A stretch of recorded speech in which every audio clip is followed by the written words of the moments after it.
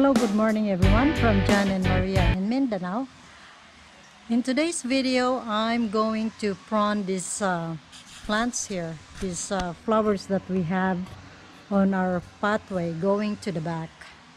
Uh, they actually just grew wild here and uh, now they are uh, blocking our pathway so uh, I'll just clear the pathway a little bit today.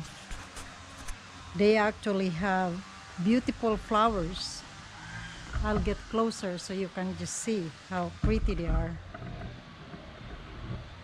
These flowers are actually called tapay tapay but I think they have a new version of these plants and they their flowers are bigger but these ones are the native kind but they are really very resilient and they grow very quick they're very fast and very low maintenance.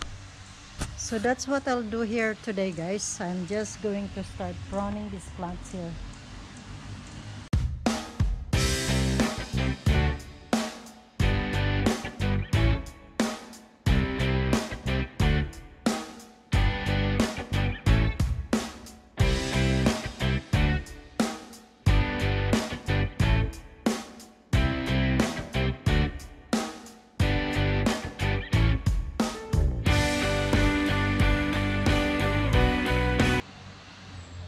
now on to the next one.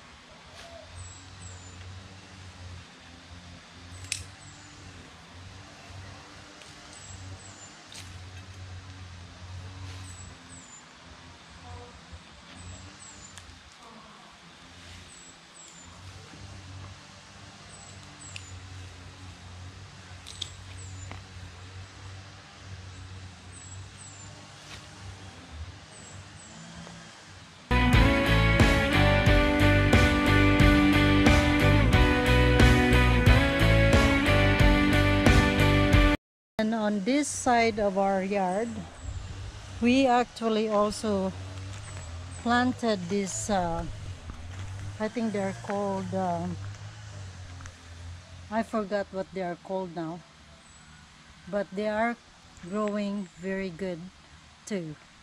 The, the soil is very fertile here.